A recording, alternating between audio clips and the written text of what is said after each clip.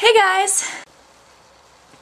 So as I'm sure you've noticed if you're a nerd fighter and you subscribe to any other nerd fighters, today is the Project for Awesome. I was a bit of a procrastinator and I woke up this morning and checked my subscriptions and noticed how many people had already posted their videos, so I'm gonna make mine now. I'm here to talk about something that we all kind of take for granted and I think this is kind of a characteristic thing for me that a lot of people pick up on, and that is the ability to smile. I smile a lot. A lot of that's because I think that a smile can go a long way, and even if you're not happy, if you smile, you feel better, and you make other people feel better too.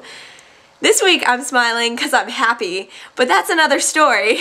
but there are people out there who can't afford facial reconstruction surgery, and it's kind of hard for you to smile when you have something wrong with your face, and it's really sad. Luckily, there's a charity called the National Foundation for Facial Reconstruction, or NFFR, and they aim to basically help out people who can't afford to get facial reconstructive surgery if they need it. A lot of kids are born with facial deformities, and something like that completely takes over your life unless you can get it fixed. I know what you're thinking. You're thinking, Lauren, how do I donate to the NFFR and help kids be able to smile again even if they can't afford facial reconstructive surgery? Well, not only can you go to their website, which I'm linking in the sidebar, and donate directly to them by clicking, there's like a little flower on the page and you can click donate now. You can also see pictures of some of the things that they've done, which is amazing. And these kids are adorable and it makes me so happy.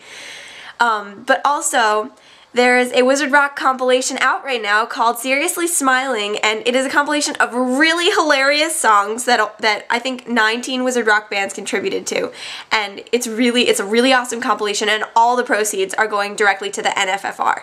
So, if you need an excuse to buy more Wizard Rock music and you want to give to an awesome cause, you can go to either myspace.com slash siriusly smiling, I'm gonna link it in the sidebar, or you can just go directly on iTunes and search for the album Siriusly Smiling. And I don't, I don't know, I, I guess I'll just throw this in at the end here. Um, I've actually had plastic surgery on my face. Um, it wasn't a condition that I was born with that made my face deformed or anything like that. I just was a little clumsy, fell out of bed, cut my face open, and had to get my eyebrow kind of put back on, which you can kind of see a little bit, but yeah, I don't know what I would have looked like if I couldn't afford the plastic surgery that helped with that. I don't know if that contributed to the cause or not, but I figured I'd throw it out there. So I'm gonna put the um, the song that I contributed with my friend Lena and it's called the Snog Song, and it's not the version that's on my solo CD, it's a duet version with Lena. So I hope you like it, and if you really like it,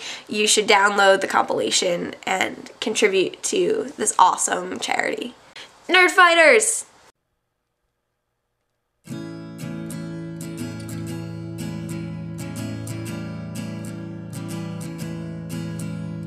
I don't have lots of money, but boy, I've got a plan. You guys might think it's funny, cause Harry's not my man anymore.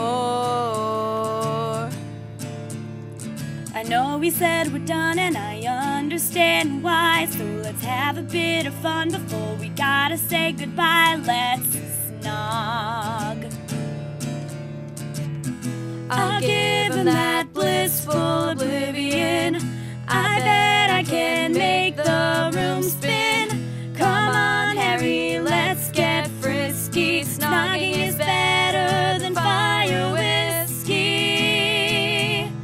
I know it's kinda cheap and I know I'm being lazy, but I'm gonna take the leap because Harry, I'm crazy about you. You gotta pack a light, cause my present can't be carried when you're done with this fight. I know we'll get married someday.